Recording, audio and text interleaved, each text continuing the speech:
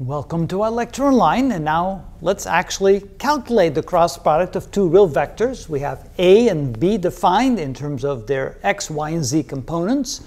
So the general format of a cross product now turns into something like this. And so this now becomes the following.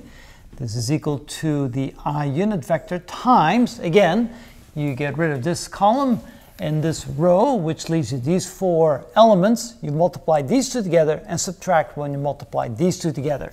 So this becomes minus 2 times a minus 4. Subtract from that when you multiply these two together, which is a minus 5 times a positive 4.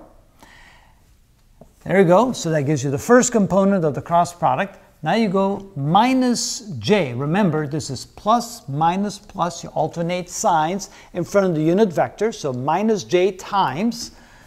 You get rid of this column and this row, like this. That gives you these four elements. So you multiply these two together and subtract when you multiply those two together. That gives you 3 times a negative 4 minus a negative 5 times a positive 1. That gives you the second component of the cross product. Now for the third component, you get plus k times, so get rid of this column and this row. That leaves you these four elements, so it's 3 times 4 minus, when you multiply these two together, which is a minus 2 times a 1. And there's your third component. Now all you have to do is simplify these, so let's do that. So this is equal to i times minus 2 times minus 4 is a positive 8 that's a minus 20, but times a minus, that's plus 20.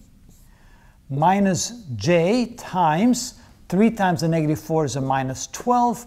Minus times a minus becomes a plus 5. And here we have plus k. And 3 times 4, which is 12. Minus a minus 2, that becomes a plus 2.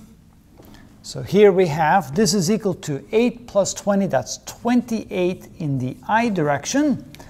That's minus 12 plus 5, that's a minus 7, but with the minus here becomes a plus 7 in the j direction. And 12 plus 2, that's plus 14 in the k direction. So here we have a cross b, which is a another vector, a third vector, call it vector c, which is now defined by these three components, 28i plus 7, 7j plus 14k. And that's how we find the cross product of two vectors.